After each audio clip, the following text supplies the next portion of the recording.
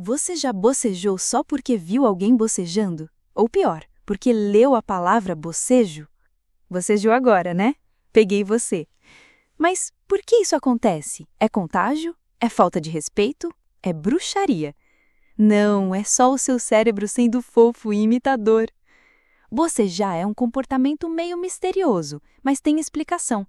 A primeira coisa, bocejar não é só sobre sono.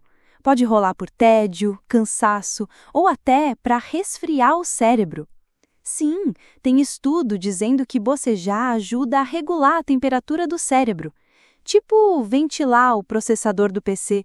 Seu corpo pensa: calma, tá esquentando aqui, vamos abrir a janela. Boceja aí. Agora, por que é contagioso? A resposta está nos seus neurônios espelho. Não, não são neurônios que se maquiam. São células no cérebro que imitam o que os outros fazem.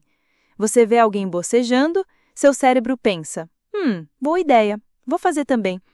É tipo um reflexo social, uma empatia automática. Funciona tão bem que até ver um vídeo de alguém bocejando já ativa a vontade, ou até ouvir alguém falar, ou só pensar. Apostamos que você está segurando um agora. E não somos só nós. Macacos, cachorros e até papagaios bocejam em resposta aos outros. É uma parada evolutiva. Tipo, se todo mundo está com sono, melhor todo mundo descansar junto. Bocejo coletivo igual horário de desligar a tribo. Bocejo também pode indicar conexão emocional. Você boceja mais com pessoas próximas do que com desconhecidos.